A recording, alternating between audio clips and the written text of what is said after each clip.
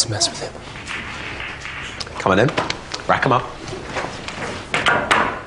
Okay! It's all over, chaps. Excuse me. We're about to play. Come on, mate. The Dandelyons, we'll leave it for now. Can't quite decipher his accent, but I think your mate's got the general idea. Look, it's winner stays on. How about you and your mate? Play us for it. Let's make it more interesting.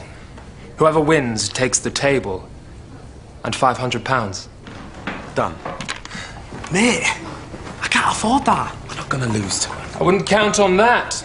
Mummy had a billiards table in the ballroom. I grew up with this stuff.